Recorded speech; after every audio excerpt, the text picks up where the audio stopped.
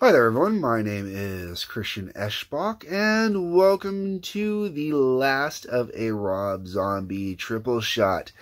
Now, if you are one of my regular viewers, you know that I started off with Hellbilly Deluxe, then I covered Sinister Urge, and now I am on to the third album that was released in Rob Zombie's solo career that is not directly related to the movies.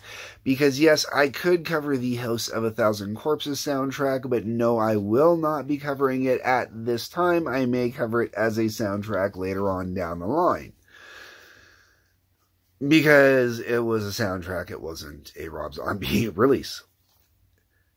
This one, on the other hand, is now. I normally don't do greatest hits. This is Rob Zombie, past, present, and future. I normally don't do greatest hits. The reason I am making an exception for this one is you probably will not catch me doing White Zombie on here for a very, very long time because I was never much of a White Zombie fan. I don't personally own any White Zombie. The only White Zombie I own is on here. The other reason I'm covering this, not only because of the few White Zombie songs that are on here, there is also a couple previously unreleased songs on here. There are some songs on here that are only available on soundtracks, that are only available in various different ways. So this is this is more than just a greatest hits collection, even though it is. It's basically radio singles for the most part, but there's also other stuff on here as well, which is worth having especially if you don't want to go out and find or hunt down all the other little individual stuff like some fans do.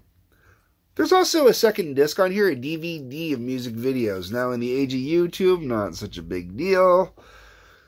But this was really cool to have when this came out. And yes, I used to watch the DVD videos all the time. And I'm gonna I'm gonna explain why. I'll, let me cover that first, okay? So for the videos, you had Thunderkiss 65, more Human Than Human, Dragula, Living Dead Girl, Super Beast, Never Gonna Stop, Feel So Numb, Demonoid Phenomenon, Return of the Phantom Stranger, and Spookshow Baby. Now, Demonoid Phenomenon, Return of the Phantom Stranger, and Spookshow Baby were all previously released, unreleased, and they were put on this just for this. I've already talked about those songs uh, with the exception of Thunderkiss 65 and More Human Than Human, I have discussed all of those songs in my two previous reviews, so I'm not going to get back into them again. I will say having the videos for them is fun though and cool. It makes it a lot better. So let's get into the actual music itself. And I like that this album does it based on when the songs were actually released including putting the two previously unreleased tracks at the very end.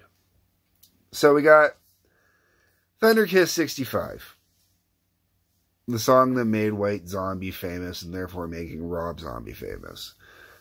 I personally didn't mind Thunderkiss 65. It is a fun song live. I like watching Rob Zombie do it live, but when they do it live, they do it in a way that's really cool, and it works in with uh, John Five's solo and some other stuff. So it's really cool for me that way. I'm not a huge fan of the song the whole way around, but it's not bad. Uh, but the next song after that I, is the White Zombie song. Out of those two, I actually prefer a little bit more, and that is Black Sunshine featuring Iggy Pop. I really, even if it I, you know, you don't even have to know that it's Iggy Pop on there because the part that Iggy Pop does is really cool, but it, it's not, I don't want to say anybody could do it, but you don't have to know it's Iggy Pop for it to still be cool sounding. You know what I'm saying? That's, that's where I'm going at with that. And I really enjoy Black Sunshine. I think it's really a fun song and it's, there's just something about it's got a cool groove. That goes into Feed the Gods, one of the reasons I'm not a White Zombie fan. Uh, then we go to More Human Than Human. Uh, yet again, kind of reason why I'm not a big White Zombie fan, and More Human Than Human was one of those kind of vibes that kind of carried over a little bit to Rob's solo stuff in the beginning. I don't mind it but it's not it's not as good as it's going to get. Uh, then we get to Supercharger Heaven, which I'm so so about. Now, the first five songs on this album, they get the album going for me. I don't skip any of them when I put the CD in. And this CD sat in my CD player for a long time. Now, granted, when I say it sat in my CD player for a long time, I had a 20, I used to have a 25 disc CD player. So when it sat in there for a while, it was okay for it to sit in there for a while. Now I'm down to five discs, so most things don't sit in there for too, too long. Or they cycle through a lot quicker. Um, but those first five songs, they're very much White Zombie songs. If you were into White Zombie, they're nice to have on here. It's nice to have that representation.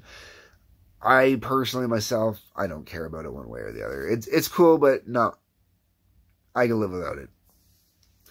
Then we get into, and we're still technically doing White Zombie, but this is where things start to change a little bit. We get into one of the first covers on here with I'm Your Boogeyman. I like this. Rob Zombie doing stuff from these 70 funk bands and stuff like that. I'm your boogeyman, boogeyman. Ow. Rob does it right. Rob knows how to do it, and it's great. It sounds fantastic. I love I'm Your Boogeyman, and it's a really fun song, and I I like that it was a change into the right direction. That then takes us into Hands of Death, Burn Baby Burn, featuring Alice Cooper. This was from an X Files soundtrack CD. And I never picked it up because I. It, it eventually came out on the Alice Cooper box set, so that was one reason I didn't have to pick it up. And I had it on the Alice Cooper box set before I had it on here, so I didn't ever really need it on here either. Because I don't really need to hear the song. It's not a bad song, but it's not. It's not anything I was.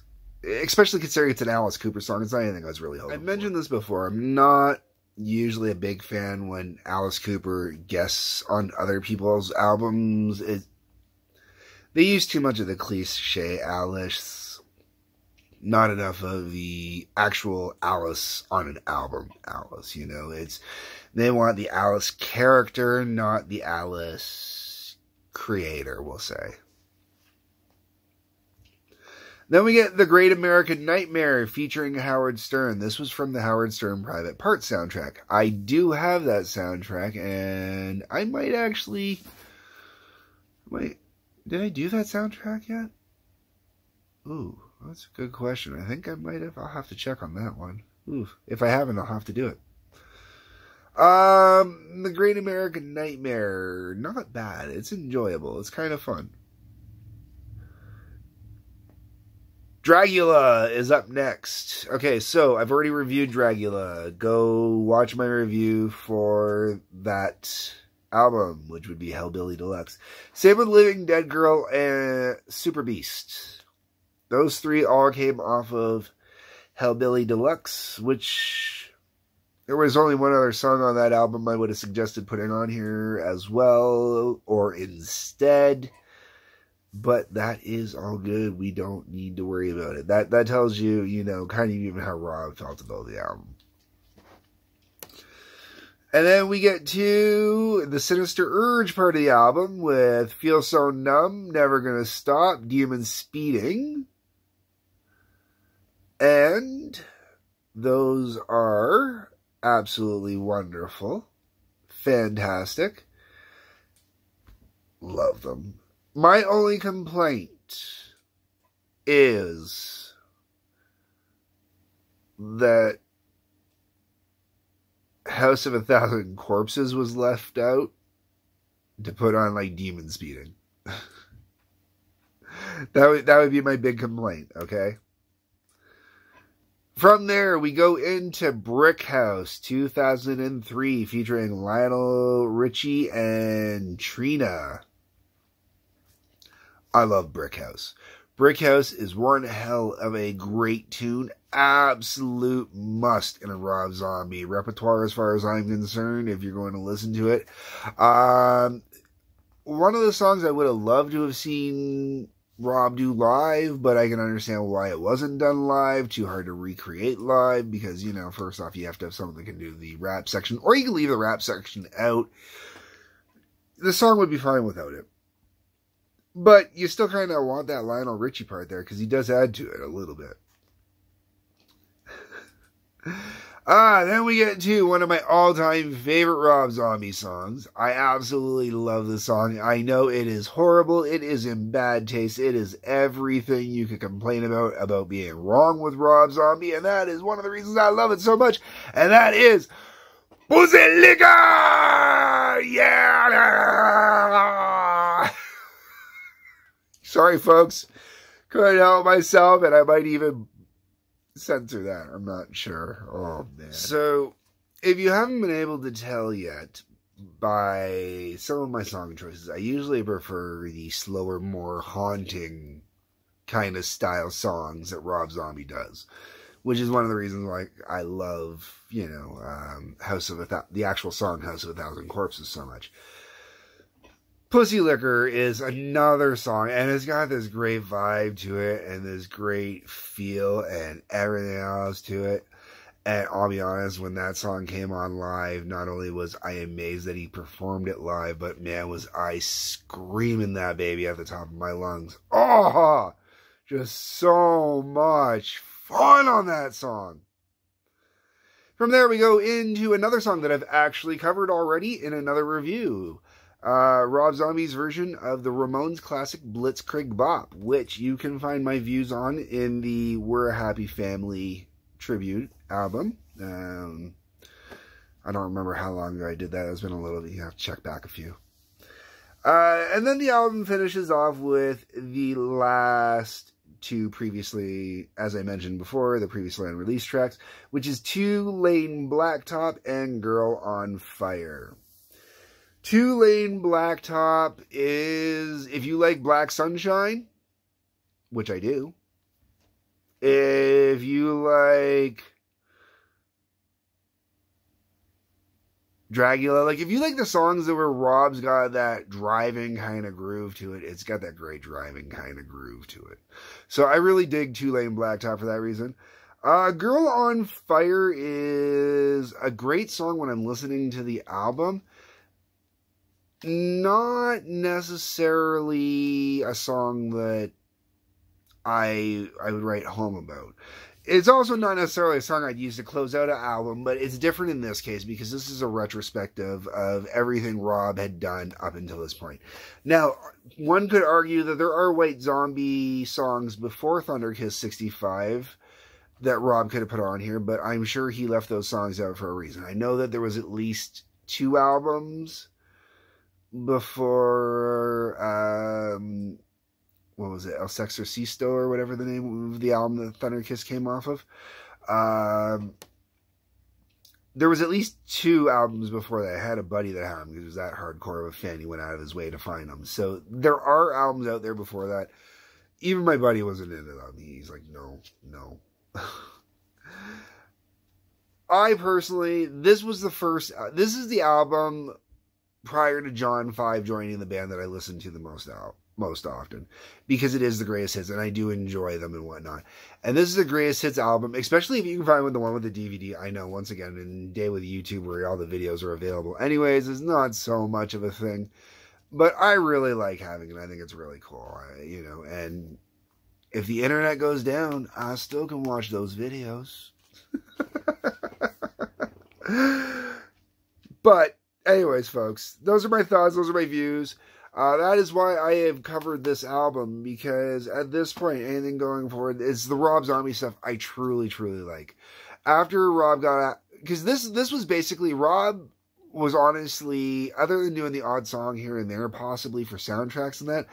Basically, Rob Zombie was done with music after this album got released he he was really burnt out. He didn't think he could come up with anything new, original. He, he, honestly thought his days of being a real, true, original musician were over, and he was ready to give it up and go 100% balls deep into Hollywood, from what I understand. And John Five is what saved him from doing that. And really, John Five joining with Rob Zombie is where I truly become a real hardcore, you know, you have to love this album fan. um, and not every album's a winner. Don't get me wrong. I mean, I've covered already, so you can go back and check, you know, what I've covered. But this collection is a great collection to have. I don't. If it wasn't for the fact that House of a Thousand Corpses is left off of this collection, this is like the perfect collection to have. If it would have had House of a Thousand Corpses on it, if that would have been on here, you would never need to own one of the two prior albums or any of the White Zombie albums, as far as I'm concerned, before this. You'd have everything you need to go from here moving forward. But because House of a Thousand Corpses isn't on here, you have to own Sinister Urge. That's just the way it works. Sorry, folks. Anyways, those are my views. Those are my opinions. The comment section. Let me know what your views and opinions are. I am interested. Also, I'd like to know what Rob Zombie album you want me to do next. I've got it all. So, let me know what you want to do next. Uh, other than that, uh, hit the like button, hit the subscribe button. That subscribe button is really important to me right now. Uh, I'm trying to get up to the point where I can start doing some live streaming. So if you could hit that, that would really help so I can start doing some live streaming. Other than that, folks, peace, love, take care. Also, check out the Patreon link below because I forgot that.